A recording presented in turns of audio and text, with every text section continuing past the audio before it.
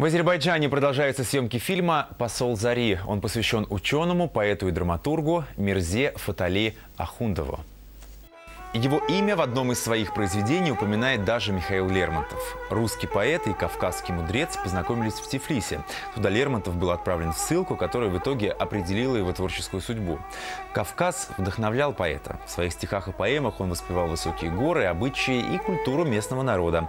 На роль поэта в фильме «Посол Зари» претендовали даже иностранные артисты. Но в итоге она досталась актеру русского драмтеатра Олегу Амирбекову. Перед съемками ему пришлось изучить немало дневников и писем Лермонтова. В них поэт рассказал о встрече с Мирзой Фаталей Ахундовым. С его помощью классик изучал азербайджанский язык. Лермонтов ласково называл своего учителя Али. В азербайджанском кинематографе, насколько я помню, еще роль, образ Лермонтова не воплощался. И вот так получилось, что у меня такая почетная была миссия первый раз в азербайджанском кино, в отличие от российского кинематографа или других кинематографов других стран, сыграть роль великого русского поэта.